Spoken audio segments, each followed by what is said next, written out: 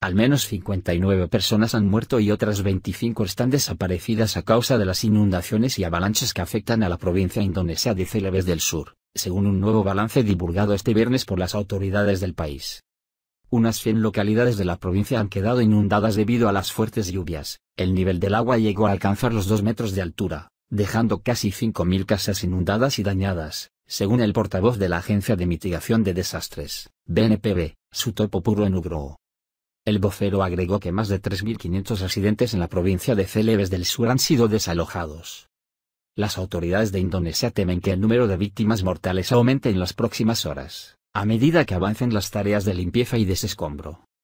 Los equipos de búsqueda y rescate registraron el mayor número de fallecidos en el municipio de Goa, donde murieron 44 personas, seguido de Geneponto con 10, Maros con 4 y Panquep con 1.